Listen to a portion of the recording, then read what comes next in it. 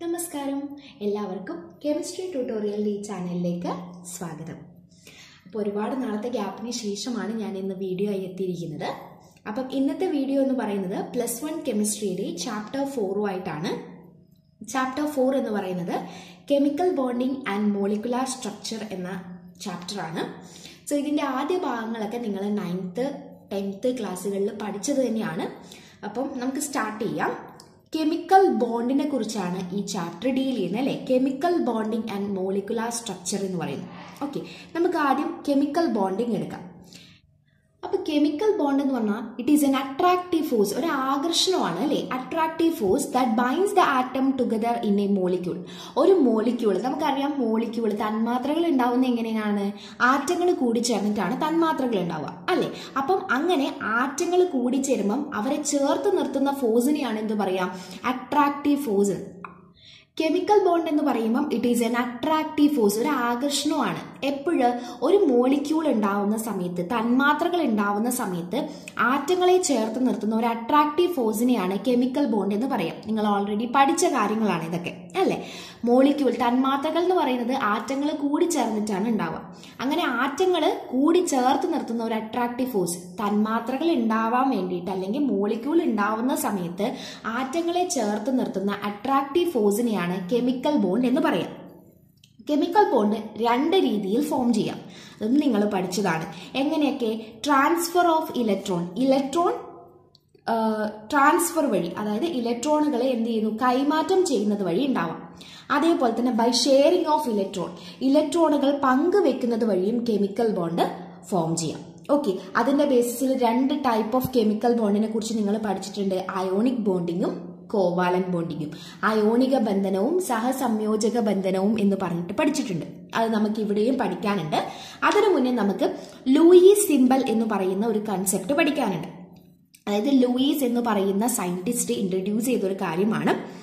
അതായത് chemical bond form ചെയ്യണ്ടെങ്കിൽ നമുക്കറിയാം chemical bond form ചെയ്യാൻ ആരാ പങ്കെടുക്കുക? വാലൻസ് ഷെല്ലിലുള്ള അല്ലെങ്കിൽ ഔട്ടർ മോസ്റ്റ് ഷെല്ലിലുള്ള ഇലക്ട്രോൺ ആണ് പങ്കെടുക്കുക. ബാഹ്യതമ ഷെല്ലിലെ ഇലക്ട്രോണുകളാണ് പങ്കെടുക്കുക. അവരെയാണ് വാലൻസ് ഇലക്ട്രോൺ എന്ന് പറയുന്നത്. ബാഹ്യതമ ഷെല്ലിലെ ഇലക്ട്രോൺ കെമിക്കൽ ബോണ്ടിങ്ങിൽ പങ്കെടുക്കുന്ന ഇലക്ട്രോൺ ആരായിരിക്കും? ബാഹ്യതമ ഷെല്ലിലെ ഇലക്ട്രോണുകളായിരിക്കും that is outermost shell electron അവരെ എന്താ വിളിക്കുക? വാലൻസ് ഇലക്ട്രോൺ എന്നാണ് വിളിക്കുക.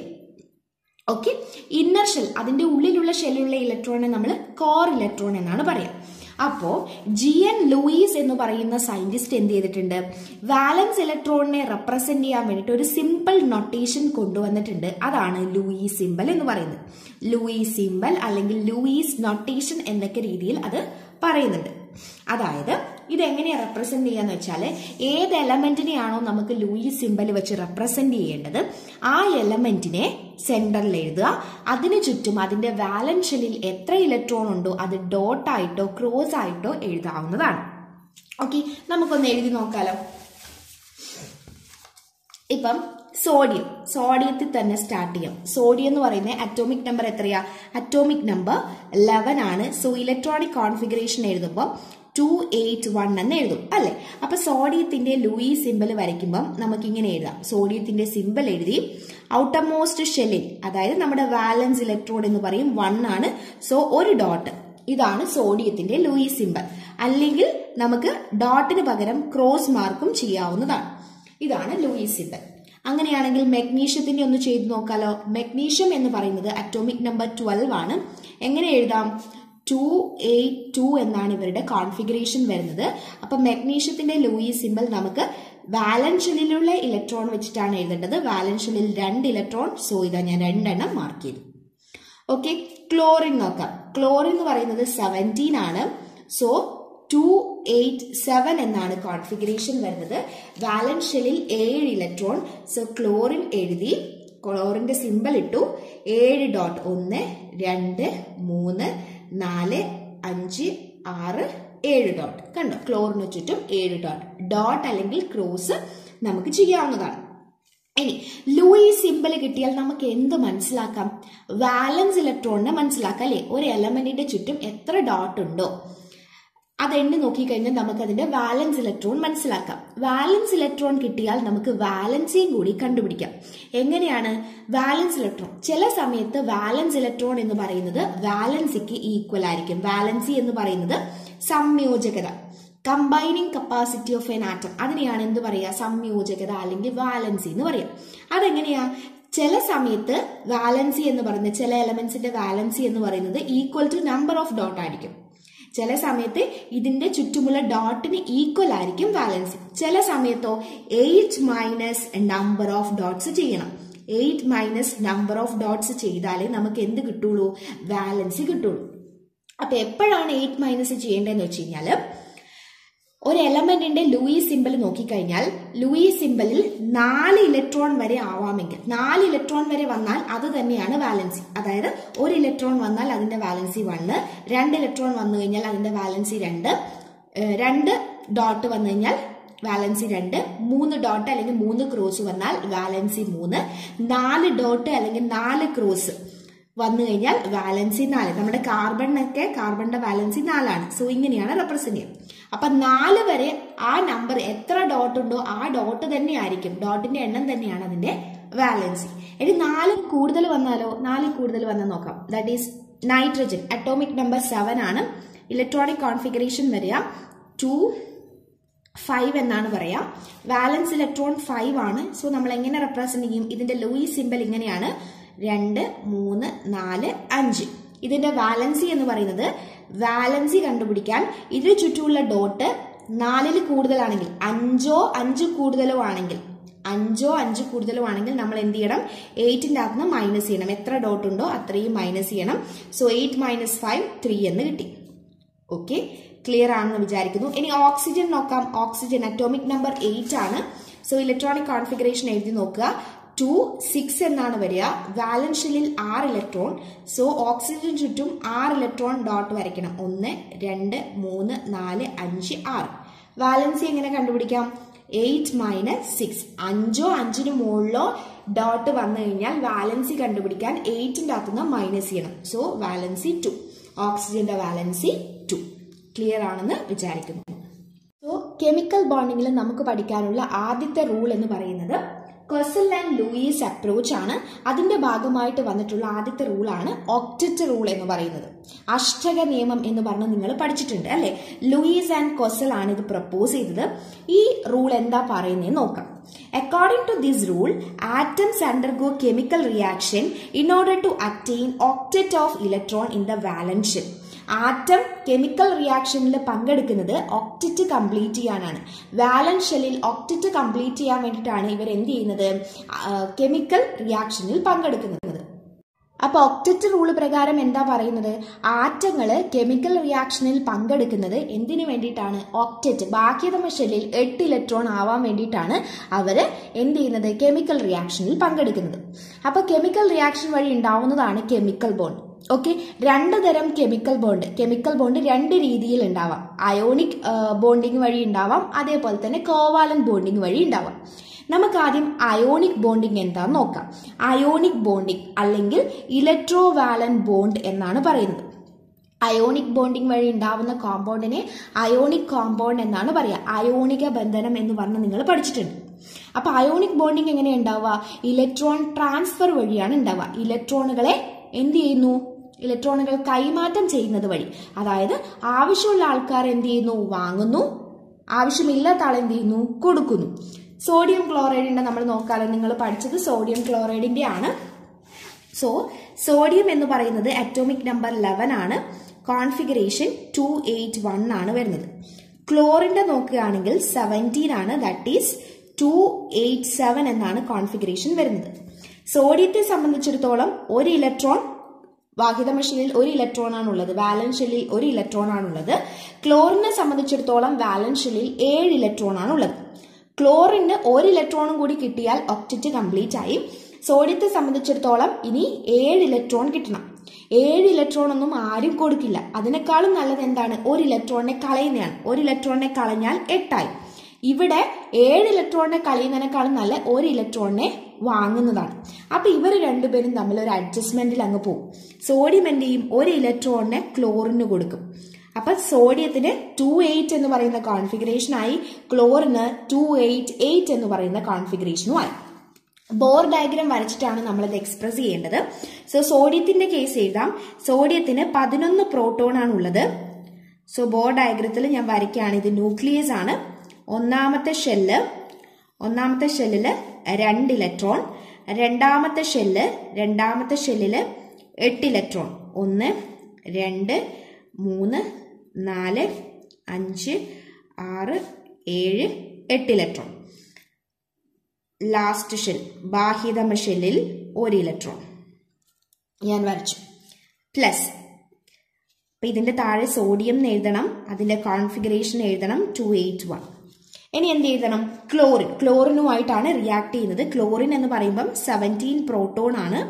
പതിനേഴ് പ്രോട്ടോൺ ഒന്നാമത്തെ ഷെല്ലിൽ രണ്ട് ഇലക്ട്രോൺ രണ്ടാമത്തെ ഷെല്ലിൽ എട്ട് ഇലക്ട്രോൺ ഒന്ന് രണ്ട് മൂന്ന് നാല് അഞ്ച് ആറ് ഏഴ് എട്ട്. വാലൻ ഷെല്ലിൽ ഏഴ് ഇലക്ട്രോൺ സോ ഒന്ന് രണ്ട് മൂന്ന് നാല് അഞ്ച് ആറ് ഏഴ് electron chlorine two eight seven എന്നാണ് കോൺഫിഗറേഷൻ ഇവർ രണ്ടുപേരും കൂടി കമ്പൈൻ ചെയ്തിട്ട് സോഡിയം ക്ലോറൈഡ് എന്ന് പറയുന്ന മോളിക്യൂൾ എങ്ങനെ ഉണ്ടാവുക നോക്കാം. സോഡിയം ഒരു ഇലക്ട്രോണിനെ വിട്ടുകൊടുത്തു. പ്രോട്ടോണിൽ മാറ്റമൊന്നും ഉണ്ടാവില്ല. ഇലക്ട്രോൺ ആണ് വിട്ടുകൊടുക്കുന്നത്. സോ ഒന്നാമത്തെ ഷെല്ലിൽ രണ്ട് ഇലക്ട്രോൺ രണ്ടാമത്തെ ഷെല്ലിൽ എട്ട് ഇലക്ട്രോൺ. ഒന്ന് രണ്ട് മൂന്ന് നാല് അഞ്ച് ആറ് ഏഴ് എട്ട് ഇലക്ട്രോൺ. ഇലക്ട്രോണുകളെ വിട്ടുകൊടുത്താൽ അത് എന്തായിട്ട് മാറി? പോസിറ്റീവ് ചാർജ് കിട്ടും. അതിന് ക്രെഡിറ്റ് കിട്ടും. പോസിറ്റീവ് ചാർജ് കിട്ടും. അപ്പൊ എപ്പോഴും ആലോചിക്കുക ഒരു എലമെന്റിന്റെ മുകളിൽ പോസിറ്റീവ് ചാർജ് കിട്ടിക്കഴിഞ്ഞാൽ അതിന്റെ കയ്യിലുള്ള ഇലക്ട്രോണിൽ നിന്ന് അതെന്ത് കൊടുത്തു? ഇലക്ട്രോണിനെ വേറെ ആർക്കോ കൊടുത്തു എന്നാണ് അർത്ഥം. അപ്പോൾ ഒരു പോസിറ്റീവ് ചാർജാണുള്ളത്. സോ അതിനർത്ഥം ഒരു ഇലക്ട്രോൺ നഷ്ടപ്പെടുത്തി. ഇപ്പൊ ഇതിന്റെ കോൺഫിഗറേഷൻ ടു എയ്റ്റ് എന്നായി. ഇനി ക്ലോറിന്റെ എഴുതാലോ? ക്ലോറിന്റെ പ്രോട്ടോണിന് മാറ്റമൊന്നും ഉണ്ടാവില്ല. പതിനേഴ് പ്രോട്ടോൺ ഒന്നാമത്തെ ഷെല്ലിൽ രണ്ട് ഇലക്ട്രോൺ രണ്ടാമത്തെ ഷെല്ലിൽ എട്ട് ഇലക്ട്രോൺ ഒന്ന് രണ്ട് മൂന്ന് നാല് അഞ്ച് ആറ് ഏഴ് എട്ട് ഇലക്ട്രോൺ ഒരു ഷെല്ലും കൂടി ഉണ്ട്. ഏഴ് ഇലക്ട്രോൺ ആയിരുന്നു ഉണ്ടായിരുന്നത്. പക്ഷെ നമ്മുടെ സോഡിയം സഹായിച്ചതുകൊണ്ട് എട്ട് ഇലക്ട്രോൺ ആവും. എട്ടായില്ലേ രണ്ട് നാല് ആറൊന്ന് ഏഴൊന്നും എട്ട്. സോ ഇലക്ട്രോണിനെ വാങ്ങിയത് കൊണ്ട് ഒരു മൈനസ് ചാർജ് വാങ്ങിക്കഴിഞ്ഞാൽ ഇലക്ട്രോൺ ഗെയിൻ ചെയ്ത് കഴിഞ്ഞാൽ നെഗറ്റീവ് ചാർജ് ആണ് വരിക. സോ ഇതിന്റെ കോൺഫിഗറേഷൻ ടു എയ്റ്റ് എയ്റ്റ് എന്നായിട്ട് മാറും. അപ്പോൾ ബോർ ഡയഗ്രം നമ്മൾ കംപ്ലീറ്റ് ചെയ്തു. അപ്പം ഏതെങ്കിലും ഒരു മോളിക്യൂളിന്റെ ഫോർമേഷൻ എക്സ്പ്ലെയിൻ ചെയ്യാൻ പറഞ്ഞാൽ അയോണിക് ബോണ്ടിംഗ് ആണെങ്കിൽ ആദ്യം നിങ്ങൾ ഇലക്ട്രോണിക് കോൺഫിഗറേഷൻ ഇതുപോലെ എഴുതുക. അതിനുശേഷം അതിന്റെ ബോർ ഡയഗ്രാം വരയ്ക്കുക. ഇനി ഡോട്ടഡ് ഡയഗ്രാം വെച്ചിട്ട് റെപ്രസെന്റ് ചെയ്യണം. സോഡിയം എന്ന് പറയുമ്പോൾ സോഡിയം ബാഹിതമ ഷെല്ലിൽ ഒരു ഇലക്ട്രോൺ വാലൻസ് ഷെല്ലിൽ ഒരു ഇലക്ട്രോൺ കോൺഫിഗറേഷൻ താഴെ എഴുതണം. Two eight one plus chlorine outermost ഷെല്ലിൽ ഏഴ് electron one two three four five six seven that is two eight seven എന്നാണ് കോൺഫിഗറേഷൻ വന്നിരിക്കുന്നത്. രണ്ടുപേരും കൂടി കമ്പൈൻ ചെയ്തു. സോഡിയം എന്ത് ചെയ്യും? സോഡിയത്തിന്റെ ഒരു ഇലക്ട്രോണിനെ നഷ്ടപ്പെടുത്തും. പ്ലസ് ചാർജ് ആയിട്ട് മാറും. That is two eight octet complete ആയി. ക്ലോറിൻ എന്ത് ചെയ്യും? സോഡിയത്തിന്റെ കയ്യിൽ നിന്ന് ഒരു ഇലക്ട്രോണും കൂടി വാങ്ങിക്കും. എന്നിട്ട് എട്ട് ഇലക്ട്രോൺ ആയിട്ട് മാറും. വാങ്ങിയത് കൊണ്ട് മൈനസ് ആയി. സോ ടു എയ്റ്റ് സെവൻ എന്നായിട്ട് മാറും. അപ്പൊ ഡോട്ടഡ് ഡയഗ്രാം വെച്ചിട്ടും ഞാൻ എക്സ്പ്രസ് ചെയ്ത് കഴിഞ്ഞു. ഇനി എന്ത് വേണം? ഇക്വേഷൻ ഫോമിൽ എഴുതണം. സോ സോഡിയം എന്ത് ചെയ്തിട്ടുണ്ട്? സോഡിയം ഇലക്ട്രോണിനെ നഷ്ടപ്പെടുത്തിയിട്ട് എൻ എ പ്ലസ് ആയിട്ട് മാറിയിട്ടുണ്ട്. എത്ര ഇലക്ട്രോണിനെ നഷ്ടപ്പെടുത്തി? വൺ ഇലക്ട്രോണിനെ നഷ്ടപ്പെടുത്തി. അപ്പം ഇങ്ങനെ ഏറോമാർക്കിന് ശേഷം അയോണിന്റെ കൂടെ ഇലക്ട്രോൺ എഴുതി കഴിഞ്ഞാൽ ഏറോമാർക്കിന് ശേഷം അയോണിന്റെ കൂടെ ഇലക്ട്രോൺ എഴുതിയാൽ ഓക്സിഡേഷൻ എന്നാണ് മീനിങ് സോ ഇങ്ങനെ എഴുതി. ക്ലോറിൻ എന്ത് ചെയ്യും മക്കളെ? ക്ലോറോറിൻ ക്ലോറിൻ ഇലക്ട്രോണിനെ വാങ്ങി. സോഡിയം കൊടുത്ത ഇലക്ട്രോണിനെ വാങ്ങിയിട്ട് സി എൽ മൈനസ് ആയിട്ട് മാറും.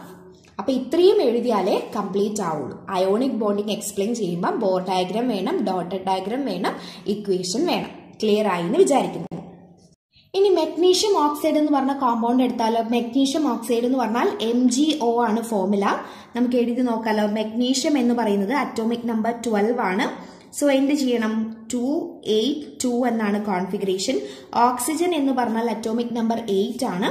സോ ടു സിക്സ് എന്നാണ് കോൺഫിഗറേഷൻ മഗ്നീഷ്യത്തെ സംബന്ധിച്ചിടത്തോളം രണ്ട് ഇലക്ട്രോണിനെ നഷ്ടപ്പെടുത്തണം.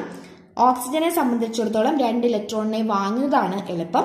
ഞാൻ കുറച്ച് സ്പീഡിൽ പോകുന്നുണ്ട് ഈ ഭാഗം. നിങ്ങൾ പഠിച്ചതായതുകൊണ്ടാണ് കുഴപ്പമുണ്ടാവില്ല എന്ന് വിചാരിക്കുന്നു. കാരണം നമുക്ക് ഈ ചാപ്റ്റർ കുറച്ച് വലിയ ചാപ്റ്ററാണ് ഇമ്പോർട്ടന്റ് ആയ ചാപ്റ്ററുമാണ് അതുകൊണ്ടാണ് ആദ്യത്തെ ഭാഗം ഒന്ന് സ്പീഡ് ചെയ്തത് സ്പീഡ് അപ്പ് ചെയ്തത്. ക്ലിയർ ആവുമെന്ന് വിചാരിക്കുന്നു. സോ മഗ്നീഷ്യം എന്ത് ചെയ്യും രണ്ട് ഇലക്ട്രോണിനെ ഓക്സിജന് കൊടുക്കും. സോ ഞാൻ ഡോട്ടർ ഡയഗ്രാം മാത്രമേ ഇപ്പൊ വരയ്ക്കുന്നുള്ളൂ. ബോർ ഡയഗ്രാം നിങ്ങൾ വരച്ചു നോക്കുക. മഗ്നീഷ്യം രണ്ട് ഇലക്ട്രോൺ ഉണ്ടായിരുന്നു. ഔട്ടർമോസ്റ്റ് ഷെല്ലിൽ ഓക്സിജന്റെ ഔട്ടർമോസ്റ്റ് ഷെല്ലിൽ ആറ് ഇലക്ട്രോൺ അപ്പൊ ഇവർ കമ്പൈൻ ചെയ്തു. മഗ്നീഷ്യം എന്ത് ചെയ്യും? രണ്ട് ഇലക്ട്രോണിനെ ഓക്സിജന് കൊടുക്കും. സോ രണ്ട് ഇലക്ട്രോണിനെ കൊടുത്തതുകൊണ്ട് ടു പ്ലസ് സൈൻ ആവും. ടു എയ്റ്റ് എന്ന് പറയുന്ന കോൺഫിഗറേഷനിൽ നിൽക്കും ഓക്സിജൻ മഗ്നീഷ്യത്തിന്റെ കയ്യിൽ നിന്ന് രണ്ട് ഇലക്ട്രോണിനെ വാങ്ങിക്കും. എന്നിട്ട് എട്ടായിട്ട് മാറും. ടു എയ്റ്റ് ആയിട്ട് മാറും. ഒന്ന് രണ്ട് മൂന്ന് നാല് അഞ്ച് ആറ് ഏഴ് എട്ട് ടു മൈനസ് വാങ്ങിയത് കൊണ്ട് ടു മൈനസ് ആയിട്ട് നിൽക്കും. ഓക്കെ ഇക്വേഷൻ എഴുതുമ്പോൾ എന്ത് എന്ത് വരും? M G M G two plus ആയിട്ട് മാറും. എങ്ങനെയാ എം ജി ടു പ്ലസ് ആയിട്ട് മാറുക? രണ്ട് ഇലക്ട്രോണിനെ നഷ്ടപ്പെടുത്തി. ഇനി ഓക്സിജൻ എന്ത് ചെയ്യും? ആ രണ്ട് ഇലക്ട്രോണിനെ വാങ്ങി ഒ ടു മൈനസ് ആയിട്ട് മാറും. അപ്പൊ ഇതാണ് മെഗ്നീഷ്യം ഓക്സൈഡിന്റെ ഫോർമേഷൻ അയോണിക് ബോണ്ടിംഗ് ആണ് എക്സ്പ്ലെയിൻ ചെയ്തിരിക്കുന്നത്. ഇതിന്റെ ബോർ ഡയഗ്രാം നിങ്ങൾ വരയ്ക്കണം. ഓക്കെ ഇതുപോലെ കോമ്പൗണ്ട് നിങ്ങൾ ചെയ്ത് നോക്കുക. എന്തെങ്കിലും ഡൗട്ട് ഉണ്ടെങ്കിൽ കമന്റ് ബോക്സിൽ അറിയിക്കുക. ഞാൻ മാക്സിമം ചെയ്യുന്നതായിരിക്കും.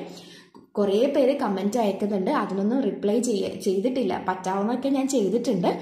സ്കൂളിലെ തിരക്കായതുകൊണ്ടാണ് റിപ്ലൈ ചെയ്യാൻ പറ്റാത്തത്. ഇപ്പൊ റിവിഷൻ ക്ലാസ് നടന്നുകൊണ്ടിരിക്കുന്നതുകൊണ്ട് അതിന്റെ ഒരു ഒരു തിരക്കിലാണ്. അപ്പോൾ പറ്റാവുന്ന സമയത്ത് ഞാൻ റിപ്ലൈ തരുന്നതായിരിക്കും. ക്ലാസ് കണ്ടിന്യൂ ചെയ്യും എന്തായാലും. അപ്പം മാക്സിമം സ്പീഡിൽ ചെയ്യാൻ വേണ്ടി ഞാൻ നോക്കാം. ഓക്കെ ഇനി അടുത്തത് factors influencing the formation of ionic bond ആണ്. അതായത് അയോണിക് ബോണ്ടിന്റെ ഫോർമേഷനെ ഇൻഫ്ലുവൻസ് ചെയ്യുന്ന ഫാക്ടേഴ്സ് ഏതൊക്കെയാണെന്നാണ്. ഓക്കെ ഒന്നാമത്തെ factor low ionisation energy of the electropositive atom നമുക്കറിയാം അയണൈസേഷൻ എൻതാൽപ്പി എന്നൊക്കെ ഞാൻ തേർഡ് ചാപ്റ്ററിൽ ഡിസ്കസ് ചെയ്തതാണ്. സോ ഡൗട്ട് ഉള്ളവർ അവിടെ നോക്കുക ജസ്റ്റ് ഒന്ന് ഞാൻ പറയാം. അയണൈസേഷൻ എനർജി എന്ന് പറഞ്ഞാൽ ഔട്ടർമോസ്റ്റ് ഷെല്ലിലുള്ള ഇലക്ട്രോണിനെ റിമൂവ് ചെയ്യാൻ കൊടുക്കേണ്ട എനർജി ലോ എനർജി ആണെങ്കിലല്ലേ കൊടുക്ക ഡൊണേറ്റ് ചെയ്യുന്നവർക്ക് ഇലക്ട്രോണിനെ ഈസി ആയിട്ട് റിമൂവ് ചെയ്യാൻ പറ്റുള്ളൂ.